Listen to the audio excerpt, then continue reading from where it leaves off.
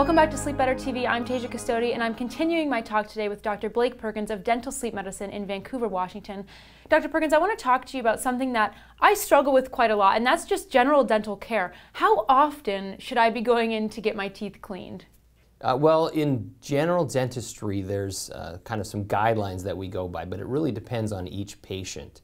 Uh, the studies that have been done regarding frequency of cleaning have really come out kind of inconclusive. They haven't proven that it's better to have your teeth cleaned more often, nor have they disproven that. So we have to kind of go on what each patient's individual problems present with and then also follow some general guidelines. So as a general rule, dentistry for a long time is recommended uh, every six months for somebody who uh, is fairly healthy. Uh, if you have gum disease, then it can tend to be every three months or every four months. And if you have absolutely no cavities and have never had a cavity and don't have any problems, sometimes you can extend that period up to once a year. And what does a professional dental hygienist visit include typically?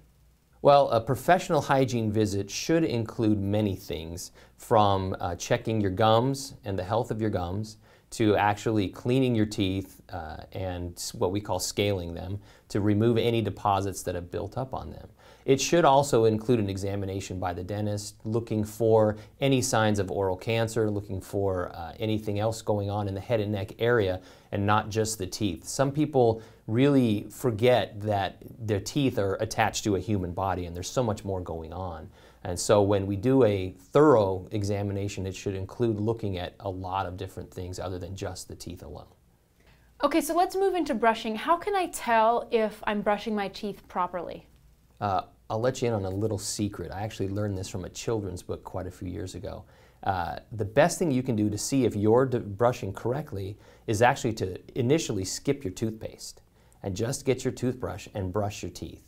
And uh, do it for two minutes, like we recommend, and then feel around in your mouth with your tongue whether you can feel anything rough or, or kind of strange and fuzzy, if you would. Um, and if you do, you know those are areas that you're missing. And then go back with your toothpaste and rebrush. And what can happen if I don't have good oral hygiene? Oh, a lot of things can happen if you don't have good oral hygiene. Um, the kind of beginning stages of poor oral hygiene are shown in what we call gingivitis, and that's a term that everybody's heard on TV anytime that you see toothpaste commercials. And gingivitis essentially means uh, redness and irritation of the gums. And if that redness and irritation is not dealt with with proper hygiene, that can develop into what we call periodontal disease. And that affects also the bone that holds the teeth in place. And so eventually, if it's not treated, you can actually lose your teeth through uh, the periodontal disease. Okay, so even with proper care then, can someone still develop cavities? Uh, yes, actually, that's, that's a good question. Even if you're doing proper oral hygiene, uh, you can develop decay, you can develop gum disease, you can develop other things, uh, which is again why it's so important to be seen regularly because your dentist can catch that stuff a lot quicker than you can. Uh, for instance, um, if you're not seen regularly uh, and you um, develop a cavity, it can be very small. And that cavity can be treated very quickly and easily if it's seen and caught.